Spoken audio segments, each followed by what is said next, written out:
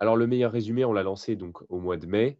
Euh, très rapidement, on a eu euh, des centaines euh, d'écoutes par jour, de nouveaux auditeurs chaque jour, et puis plusieurs milliers d'abonnés déjà dans le, premier mois, ce qui a permis d'être un des meilleurs démarrages donc, de l'année référencé par la, la plateforme d'hébergement Acast, qui héberge énormément de podcasts dans le monde, qui est une des plus importantes. Et nous, de notre, point, enfin, de notre côté, on a les jours de sortie, plusieurs milliers d'écoutes sur le nouvel épisode et on est autour de 25 à 30 000 par mois. Euh, sur ce format-là.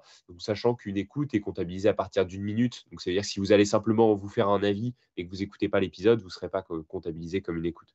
Donc, euh, enfin, en tout cas, votre écoute ne sera pas comptabilisée comme telle.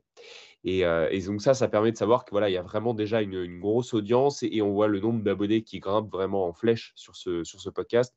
On reçoit aussi des messages tous les jours pour nous demander de, de traiter telle ou telle œuvre donc, donc on a vraiment, on voit vraiment un, engouement autour de ce projet et c'est chouette parce qu'on a l'intention de le continuer et d'en faire encore beaucoup. Alors effectivement, ça peut être un média d'information, le podcast. Il y a d'ailleurs des podcasts qui sont des, qui sont des, des podcasts d'actualité. Mais nous, en l'occurrence, le podcast chez nous est produit comme un outil support pour apprendre pour, euh, pour transmettre aussi. De, notre point de vue, c'est pour transmettre. Pour les auditeurs, c'est pour apprendre des choses. Et c'est d'ailleurs pour ça qu'on se présente maintenant vraiment comme un réseau de podcasts, un studio de podcasts culturel avec euh, de la vulgarisation.